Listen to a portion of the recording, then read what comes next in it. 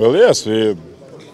Everybody, everybody loves to play on, in big games. You raise your awareness, awareness. You raise your motivation, your focus, everything. And I think my whole life I like to play when it's hard, when it's you know important. So that only gives me more motivation. I learned with years. I learned how to how to deal with it, how to play through that, and now it's it's really phenomenal feeling that we won yesterday and that I was pretty good. That's their game plan. They can they can risk it, but many times they're gonna pay for that. What to say? They can.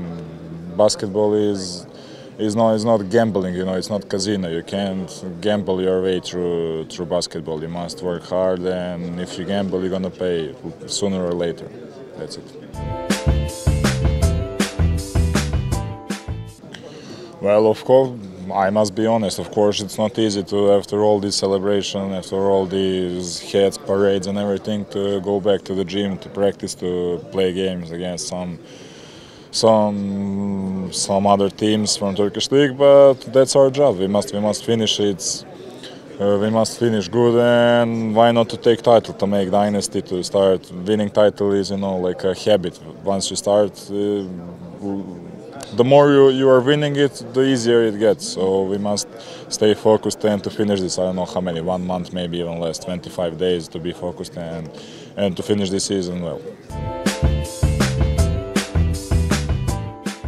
Uh, well, I don't know. They, they voted. They voted. That was phenomenal. He showed one more time that he's an amazing player, and I think that, that he deserved it. He was he was really incredible whole season. I think he was defensive player of the of the year. He didn't get that that award, but he got this this one, which is more which is sweeter.